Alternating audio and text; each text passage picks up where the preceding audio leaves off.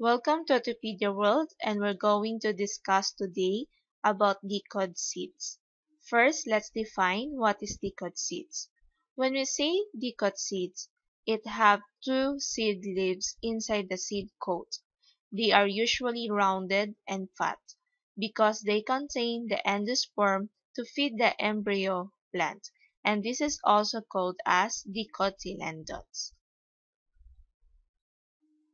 In terms of germination, dicot seeds usually germinate and produce two seed leaves. They contain the food for the new plant so they are usually fatter than the true leaves. The first true leaves are often a different shape. We have three part for dicot seeds, we have the eryngium. Next one, we have the sanguisorba. And last, we have clandanthus. Dicot seeds in terms of leaves. Leaves of dicot seeds come in many different shapes and sizes. The veins go from the central midrib to the edge of the leaf crossing and joining to form a knitted pattern all over the leaf. We have three examples. We have the malva, rosa, campanula. Dicot seeds in terms of stem and roots. The stem of dicot seeds are usually tall. They can grow wider each year and are often branched.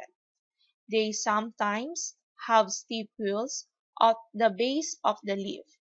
The root is often a single long tap root with smaller roots growing from it. As the example picture, we have here the dicot seed, the stem, stipule, and the root. Dicot seeds flowers, and the flowers are usually have four or five parts, and the calyx is a separate ring of sepals under the corolla and it is usually green. For example, we have Oenothera, Epilobium, and Geranium. In terms of seed pod or fruits, the seeds of dicots are very variable in shape, size, and texture.